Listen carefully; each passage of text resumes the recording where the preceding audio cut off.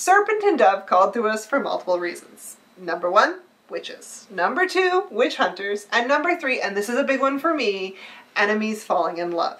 It is, as the kids say, my jam. And the book delivers on all of those things, manages to be plot driven, even while the romance does backflips in the background. The book takes place in a French-esque city, ruled by a king and his royal family, and more or less governed by the archbishop who controls the witch hunters, known as the Chasseurs.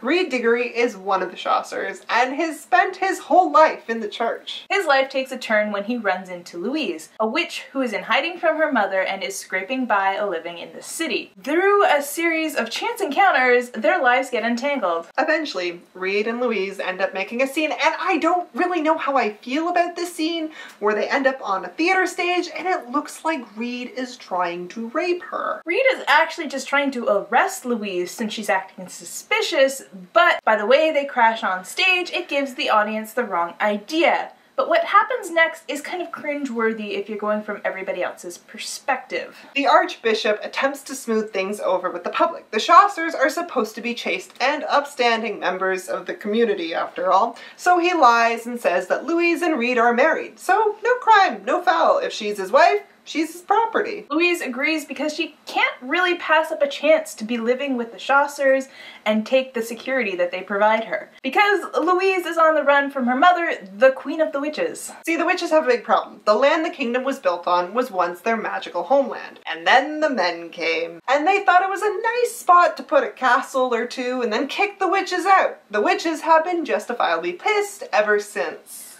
Louise's mother, the Queen of the White Witches, figured out that if she sacrificed her only daughter, she could make a spell that would not only kill the king, but all his descendants as well. So the queen wants to relieve Louise of her head, and Louise decided very last minute that she wanted to live. She ran away and has been hiding in the city for years, constantly afraid that her mother will catch up with her. Her only friend, up until the point where she marries Reid, is Coco a Red Witch. Of course, once Louise and Reid are married, their animosity towards each other does not stop. But slowly and surely, they realize that they might actually like one another. Cue the slow burn romance. As the two fall in love, they are slowly being swept up in Louise's mother's plot to end the royal line. I loved both Louise and Reid. Reid is angry at everything, and his anger was feeding me the entire time. Of the two of them, he's the one who wants the more traditional marriage. He's straight-laced, buttoned up, and has a starched collar. All the fun stuff. Reid is the exact opposite of Louise, who takes great joy in taking whatever pleasures out of life that she can get. She drinks, she eats, she fucks, she swears like a sailor.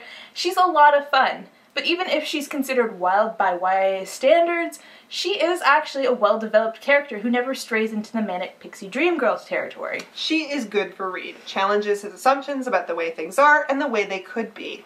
And he provides her with stability that she didn't know she needed, and with the safety she definitely knew she needed. Even the supporting characters are well developed. Coco is loyal and clever and brave, and Ansel, Reid's apprentice, is adorable and a little summer child who brings out the best in everyone. And even the supporting characters make decisions that have a decent impact on the plot, and that's real nice. The magic system that Louise adheres to provides a good amount of checks and balances, and provides a good opportunity for Louise to grow into her powers. The witches themselves, though, are portrayed as pretty monstrous, which is surprising considering the main character is a witch. In our opening scene, where we're introduced to the witches for the first time, it's when they ride into town attacking the peasants and doing hideous things to them.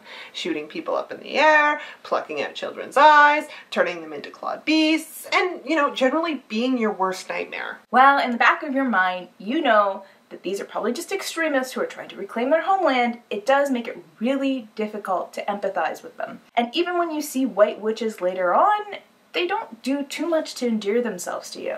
They are all perfectly happy with sacrificing Louise for their goals, and they don't really seem to up on the empathizing with other people thing. You only ever really encounter three witches who aren't portrayed as monstrous, and one of them is Louise. You end up really seeing the Chasseur's point of view, even if you know that their organization is supposed to be bigoted and prejudiced. Now, when a woman was selling us this book, she sold it to us as filthy, and the closest thing to Sarah J Maas that she's ever found. And if you're like us, you're going, really? Filthy, you say. well, like hold up because I don't know what book this woman was reading, but filthy?